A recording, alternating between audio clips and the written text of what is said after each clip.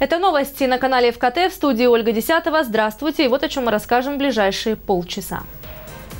В Сочи ожидаются ливни и сильный ветер. Глава курорта на планерке потребовал от городских служб перейти в режим повышенной готовности. Более 100 ученых, любящих птиц, собрались в Сочи. На курорте открылась международная орнитологическая конференция. В Лазаревском появился еще один зеленый уголок. Около памятника герою СССР Алексею Малышеву высажен сквер. Регата финиширует в Сочи только завтра, а паруса России уже в морпорту. Более 50 работ представили московские фотохудожники.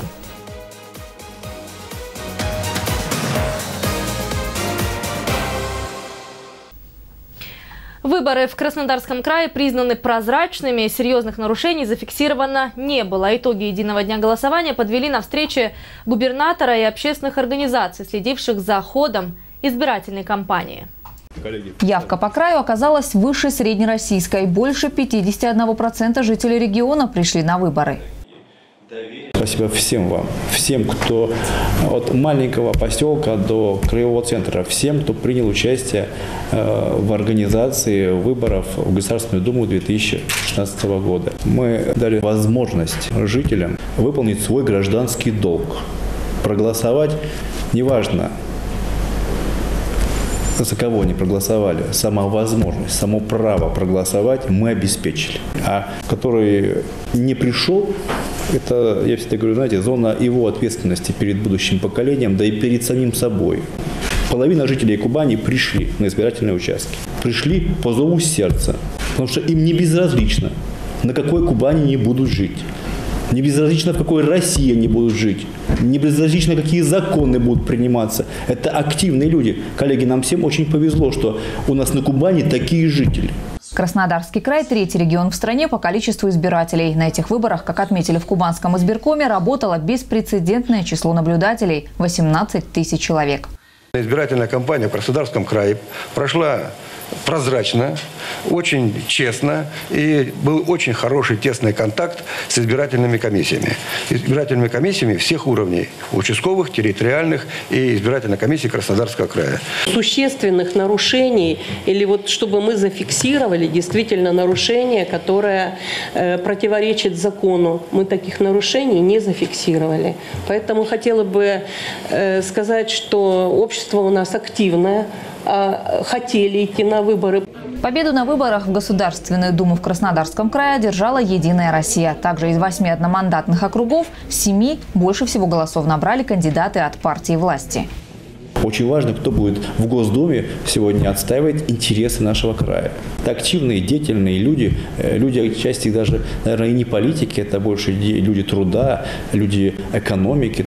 Честно говоря, лоббирование слово плохое, хорошее, но лоббировать и через э, законодательные акты, по большому счету, э, те нормы, которые нам сегодня необходимы, необходимы для развития нашему региону. В этот раз, заметил губернатор, удалось избежать серьезных провокаций, так как все партии понимали, у них одна цель – дальнейшее развитие России. В ходе совещания Вениамин Кондратьев предложил применять практику общественного экспертного совета при крайсберкоме на все выборные кампании вплоть до муниципальных. Инга Габейшая, телекомпания «ФКТ». Победивший по итогам голосования в Сочинском одномандатном округе Константин Затулин сегодня обратился к тем, кто поддержал его на выборах. Я хочу сказать спасибо всем избирателям Сочинского избирательного округа. Сочинцам, белореченцам, обширонцам, гражданам России, проживающим в Эстонии и приписанным к нашему Сочинскому округу. На выборах 18 сентября они отдали предпочтение не кандидату Единой России. И это, конечно, большая ответственность, э, это большой аванс, который придется отрабатывать все время работы депутатом в седьмой Государственной Думе. Все эти наказы и предложения будут пущены в дело. Мы постараемся в самом деле, как это и утверждалось в ходе избирательной кампании, помочь каждому. Во всяком случае, стремиться мы будем именно к этому газификации, водоснабжения, скорректировать реформу ЖКХ, э, построить много новых школ и детских садов. И все это, безусловно, будет зависеть от того, какое внимание будет уделяться нашему округу на федеральном уровне, насколько успешно будут работать здесь люди, какие у них будут возможности для самореализации. Я по мере своих сил буду делать все для того, чтобы э, такие возможности у вас были или появились. И продолжаем. В Сочи ожидаются сильные дожди и ветер. Сегодня на планерном совещании глава города Анатолий Пахомов ввел режим повышенной готовности. По его поручению все службы жизнеобеспечения должны быть готовы к внештатным ситуациям. Продолжит Елена Овсецина. Сегодня ночью и в среду днем на побережье ожидаются сильные ливни. Усилится ветер. Его порывы могут достигать 26 метров в секунду, что не исключает повреждение кровли зданий и падение аварийных деревьев. Возможен подъем уровня рек, исход силии. Глава курорта решением комиссии по чрезвычайным ситуациям перевел на усиленный режим работы все городские службы. В случае э, включения сирен э, в экстренном режиме необходимо будет всем э, подготовить свое имущество, вещи, документы и при подъеме воды выйти на возвышенные, выходить на возвышенные участки. Это, в принципе, в сельских округах определены эти места. И быть в готовности к эвакуации. При возникновении чрезвычайной ситуации нужно звонить с мобильного 010 либо 112. Все аварийные бригады будут на круглосуточном дежурстве. Обсудили на планерке и другие не менее актуальные для Сочи вопросы. Продолжается работа по переселению людей из ветхого жилья. С 2012 года в новые квартиры по этой программе въехали 946 сочинцев. Вот старый дом на улице Инжирной. Здесь семья поселилась в 1951 году.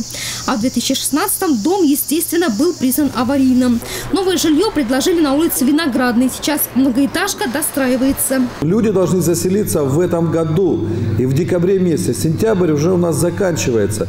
Если мы видим, ну, пока, скажем, по тем фотографиям, которые есть, мы говорим о том, что там, ну, готовность 90%, правильно? А 10% это самое тяжелое. И мы же знаем, сети, газ, вот сейчас по воде. До конца года сюда вселится 385 человек. Это жильцы из 12 ветхих строений. Согласно региональной адресной программе по переселению граждан из аварийного жилого фонда, жители получат квартиры, как говорится, метр в метр. Анатолий Пахомов потребовал от своих подчиненных работать качественно и стабильно. Есть нарекания к департаменту дизайна и городской среды. Все есть в городе, говорит глава, а все равно чувствуется какая-то неухоженность, нет лоска. Поэтому власти ждут новые идеи.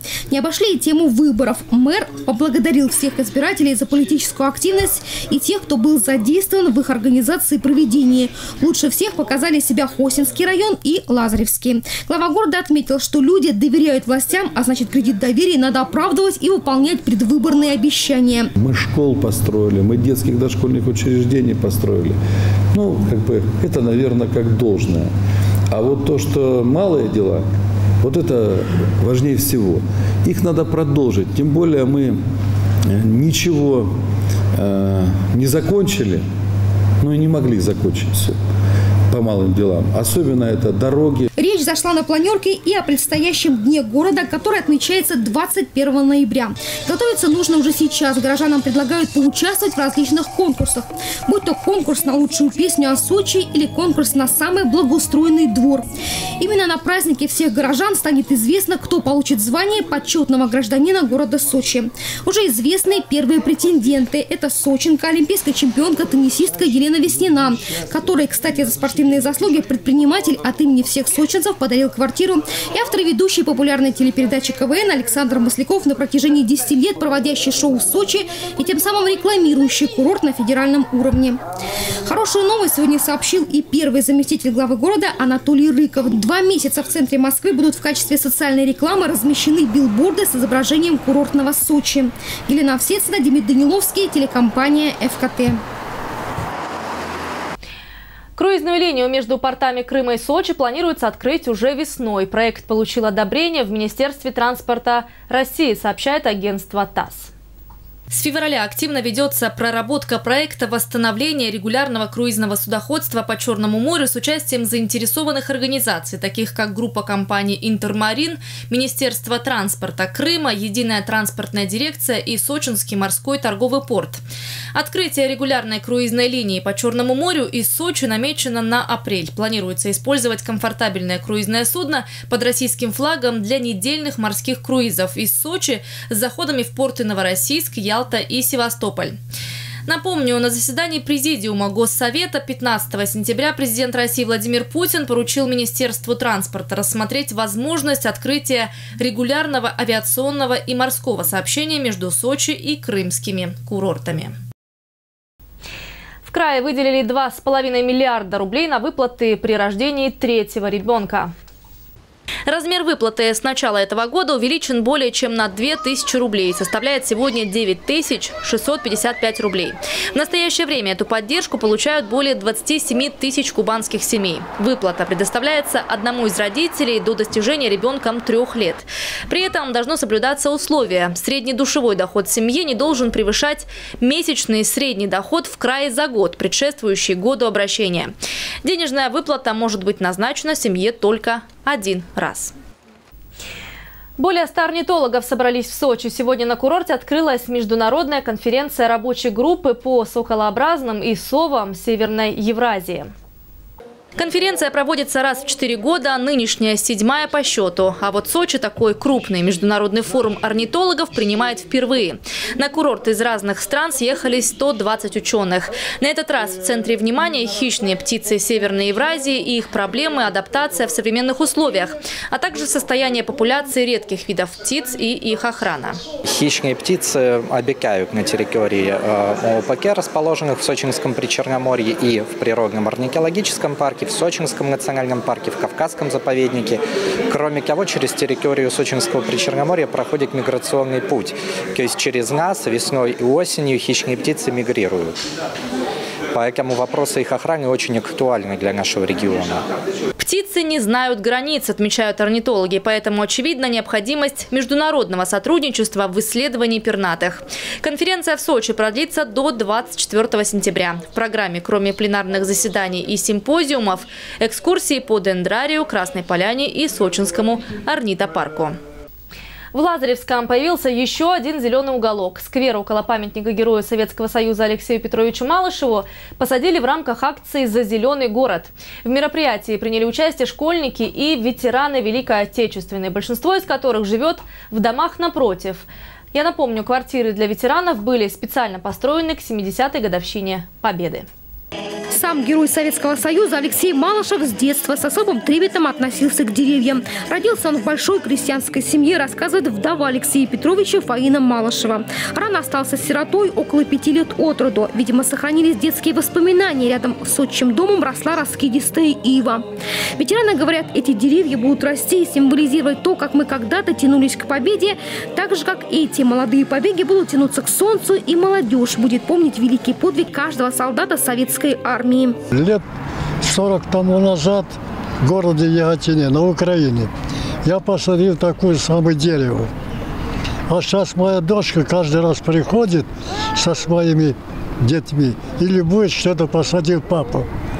Вот кто-то нас обязательно вспомнит, что посадили участников Великой Отечественной войны. Конечно, это очень приятно. Приятно, что будут вспоминать нас. Инициатором проведения акции выступила Сочинская городская общественная организация «Сибирское землячество». Поддержали идею многие сочинцы и не только. Скоро в город-курорт приедут символы России – березки. Их привезут ребята из Лаишинской сельской школы. Она является побратимом Сочинской 75-й школы имени Малышева.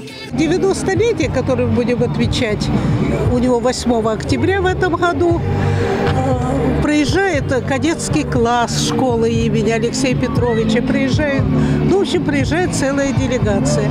И они привезут 10 березок. И я думаю, что эти березки мы посадим на территории школы, которая носит имя Алексея Петровича. Будет продолжена в районе еще одна хорошая традиция. Социальное жилье получат врачи и учителя. Это наш новый микрорайон. Вы уже видите, что э, мэром нашего города Толика Пахомова построен детский садик, красивейший детский садик э, современного уровня. Вот. Естественно, здесь будет и школа в будущем. И, конечно же, сейчас строится многоквартирный дом.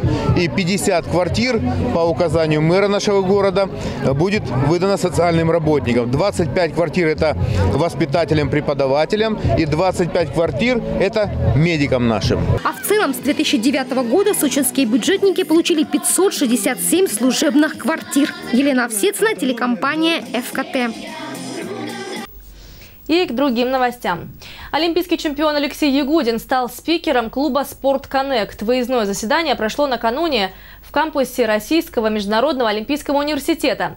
В мероприятии приняли участие известные спортсмены, представители спортивной индустрии курорта и студенты вуза. В марте этого года Российский международный олимпийский университет стал площадкой для проведения первого форума «Спорт Коннект».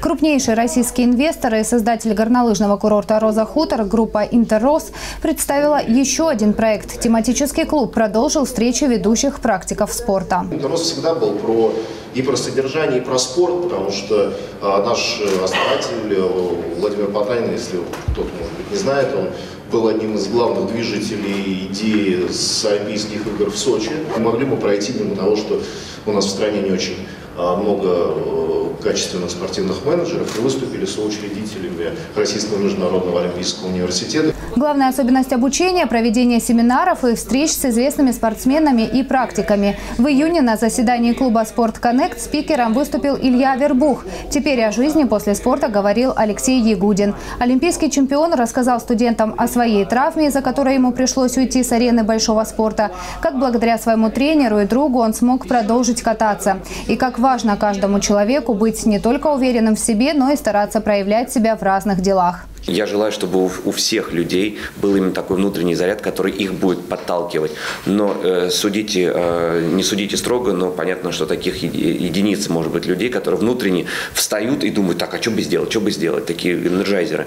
А вот для таких людей, у которых нет вот этой, например, подпитки внутренней, нужны как раз те люди, которые находятся рядом, которые и будут направлять нужное русло. Такие встречи клуба «Спорт Коннект» планируется проводить регулярно, ведь они могут стать полноценной коммуникационной платформой для профессионалов из различных областей спортивной отрасли. Кстати, РМО уславится и своей издательской программой. В ходе заседания клуба была презентована новая книга «Олимпийское движение. История и современность». Совместная работа известных российских историков позволяет читателю пройти от древней Олимпиады до игр в Сочи. У нас есть тот исторический фон, которые позволяют увидеть совершенно в новом ракурсе олимпийское движение, его историю современность. Вот это отличие книги от всего предыдущего, это ее особенность, и там есть много нового архивного материала. Более того, а ведь олимпийское движение развивается. Есть такие вещи, а, которые сразу неизвестны. Ну, например, у нас есть архив в университете. Мы его еще не весь обработали. Но как только он будет весь обработан, и станет доступен исследователям. Вы узнаете много интересного об Олимпиаде в Сочи. Тираж книги более тысячи экземпляров. Ее можно приобрести в книготорговых сетях и интернет-магазинах. Сейчас готовится к печати еще одно издание. Татьяна Говоркова, Николай Тихонов, телекомпания «ФКТ». Наследие Олимпийских игр. Что дальше? О точках роста постолимпиады говорили сегодня в Олимпийском университете. Тему продолжит Инга Габешая. Олимпиада стала катализатором развития всесезонного курорта, отметили участники первой международной научно-практической конференции «Олимпийское наследие Сочи» определяет точки роста, которых, кстати, у города еще немало. Свои креативные идеи и предложения по использованию постолимпийского наследия сегодня озвучили ведущие российские зарубежные эксперты, организаторы спортивных мега-событий, а также студенты Олимпийского университета, среди которых и первый заместитель главы города Сочи Анатолий Рыков. Нам надо ответить на главный вопрос вопрос. Что мы хотим видеть от Сочи через 10, 15, 20 лет? Каким мы видим этот город? Не с точки зрения, не только с точки зрения местного жителя, которому здесь должно быть комфортно, но и с точки зрения всей страны. РМУ в этом плане действительно уникальный сегмент. Это уникальный университет э, с точки зрения э, изучения практики и крупных международных событий. И действительно мы благодаря нашим коллегам очень многие идеи воплощаем на территории Сочи и получается, на наш взгляд, неплохо. Среди спикеров конференции и сами участники Олимпиады Илья Авербух выступит перед аудиторией с докладом «Олимпийское наследие как основа достижения спортивных целей и результатов».